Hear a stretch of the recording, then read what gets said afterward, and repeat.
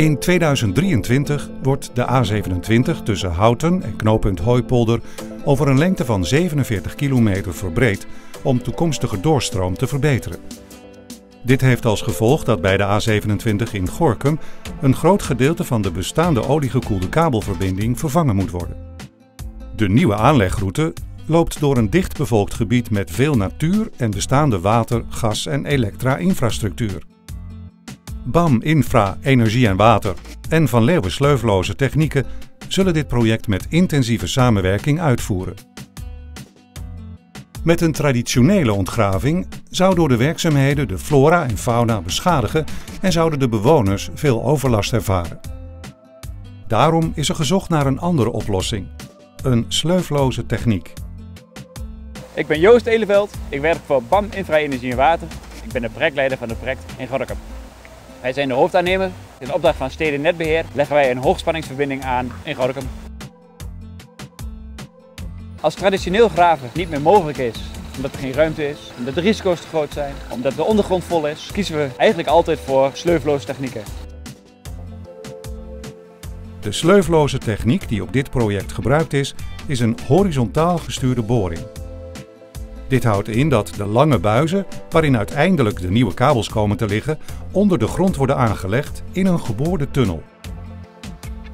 Deze tunnel wordt geboord door twee krachtige machines die geplaatst worden aan de noord- en zuidzijde van het nieuwe tracé. In totaal zijn twee horizontaal gestuurde boringen uitgevoerd. De eerste boring is in het najaar van 2020 gestart en bedroeg circa 1100 meter. Vervolgens werd de tweede boring met een lengte van 1400 meter in de zomer van 2021 gerealiseerd. Aangezien Van Leeuwen een gerenommeerd bedrijf is in die techniek, doen we veel projecten samen met ze als deze techniek ingezet moet gaan worden. We hebben een vrij lange boring die we moeten realiseren, ongeveer 1,1 kilometer. Ik ben Siem Peters, ik ben projectengineer bij eh, Van Leeuwen Sleufloze Technieken.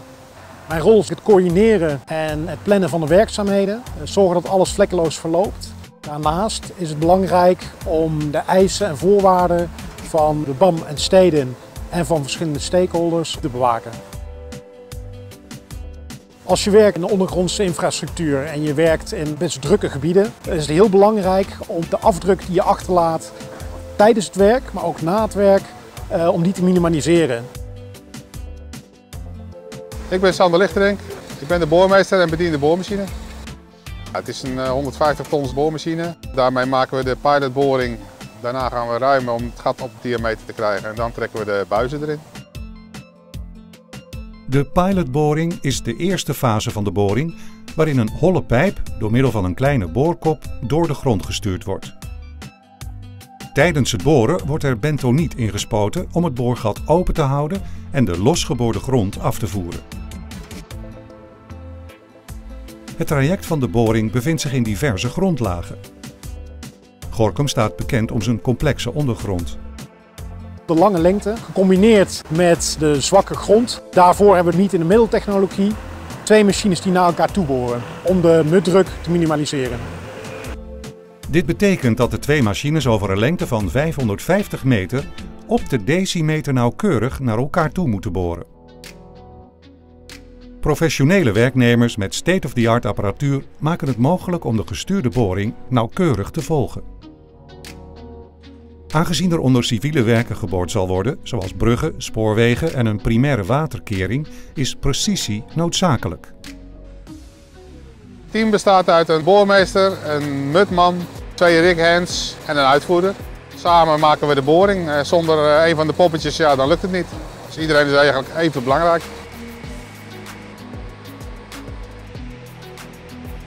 Een veilige werkomgeving met duidelijke werkinstructies is erg belangrijk, zowel voor de werknemers als de bewoners. Mijn naam is eh, Adrie Michielsen. Ik ben uitvoerder bij BAM Energie en Water, grote kabelprojecten. Voordat we gaan starten geven we iedereen een eh, projectinstructie. Wat de verwachtingen zijn voor de omgeving, voor de veiligheid. Zodat er veilig gewerkt kan worden en dat iedereen ook weer veilig uh, s'avonds naar huis kan. Tegelijkertijd met de mobilisatie van de boormachines is begonnen met de voorbereidende werkzaamheden van het aan elkaar lassen van de buizen. Deze HDPE-buizen van 20 meter worden aan elkaar gelast tot zeven onafhankelijke buizen van 1,1 kilometer lang. Deze liggen tijdelijk als reuzenslangen in het weiland totdat ze door de tunnel getrokken zullen worden. Zodra de boorkoppen elkaar in het midden ontmoet hebben, zal de stelling aan de noordzijde zijn boorkop terugtrekken, terwijl tegelijkertijd de zuidstelling zijn boorkop zal doorduwen.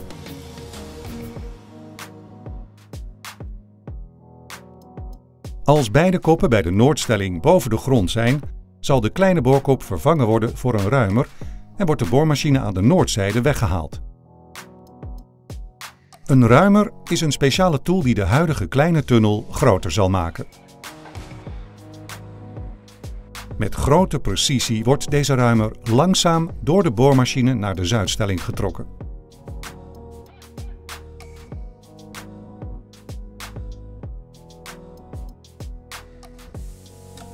Vanwege de grote lengte van de boring is het uitlegtracé van de buizen door de woonwijk bijzonder lang.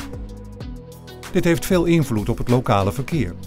Een goede managing is hier cruciaal.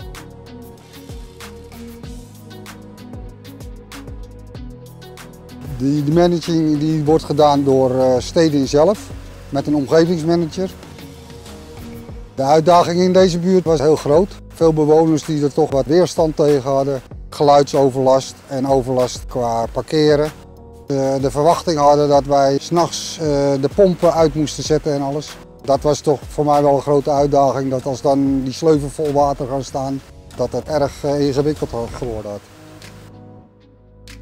We zorgen ervoor dat de overlast zo laag mogelijk is. En we krijgen daar tevreden reacties van terug vanuit de omgeving. Wanneer de tunnel klaar is en wordt opengehouden door de ingespoten bentoniet, zullen de buizen vastgemaakt worden aan een speciale barrelruimer tool.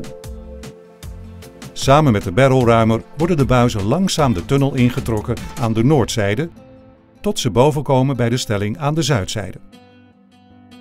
Het mooiste aspect aan het werk is het halen van de planning. Het is vooral belangrijk om als jij in een dichtbevolkt gebied werkt, om eh, transparant te zijn tegenover de bewoners. Om nauw contact te houden met stakeholders, denk hierbij aan waterschappen en gemeenten. En om echt als team samen met BAM, steden en vele steden te werken. Na het intrekken van de buizen wordt er gelijk een waterkering aangebracht. Dit voorkomt dat de werkomgeving vol met grondwater komt te staan. Samenwerking tussen eh, BAM, steden en vele is uh, ontzettend goed. Uh, we hebben nauw contact met elkaar. We werken echt als een team. Wat noodzakelijk is bij deze grote projecten, waarbij ook veel stakeholders zitten. Wanneer de buizen op positie zijn, wordt de laatste grote stap van het project gerealiseerd. Het trekken van de verbindingskabels door de buizen. Aan één kant van de buizen worden grote kabelhaspels opgesteld.